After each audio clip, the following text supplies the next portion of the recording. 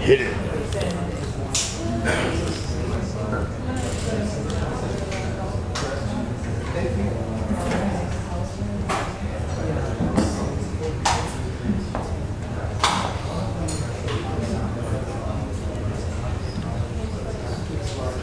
We're at Safe Fast Young.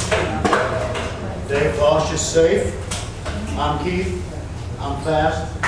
He's young. Now, Dave wanted to, uh, wanted this group to have a different name. Like, not safe, not fast, but young. Something like that.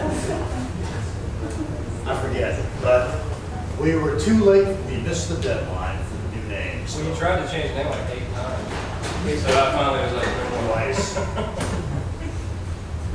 So here we go.